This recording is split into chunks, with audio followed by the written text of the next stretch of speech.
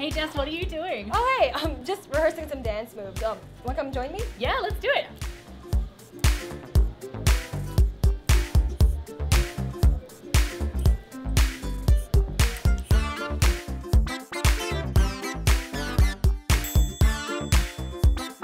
So what do you see over here? I'm seeing my body as a kaleidoscopic light. Yeah, exactly. So we have this huge screen in front of us that's showing us like what exactly we're doing, right? And what do you see below the screen?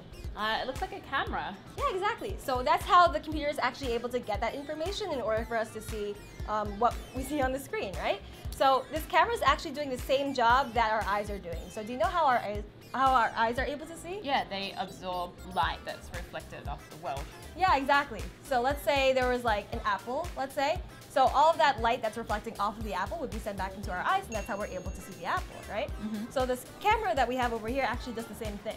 So it sends out light, and um, what we're doing is that we're like obstructing the light, and when it sends it back, it comes up kind of like a shadow over here. So it's almost like the opposite of your eye. Instead of seeing a shadow as dark, it's seeing a shadow as light. Yeah, exactly. So just because of how the computer is generating everything, we see all of um, like our shadows over here. These really cool, like what you said, like kaleidoscopic uh, shadows. Yeah. Well, what happens if instead of being shadows, you, our bodies acting as shadows? What would happen if we emitted light? I think there's no better way to find out until, unless we find out for ourselves. So want Let's to try give it it out? a try. Yeah. All right.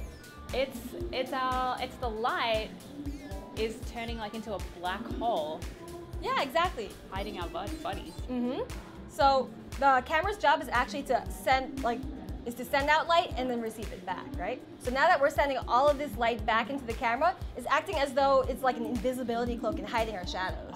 So if other people want to come and play around with the invisibility cloak of light and uh, show off their funky dance moves, how can they do that? Good question. So all they gotta do is come on down to the New York Hall of Science and they can actually see for themselves. Do you want to dance some more? Yeah, let's do it.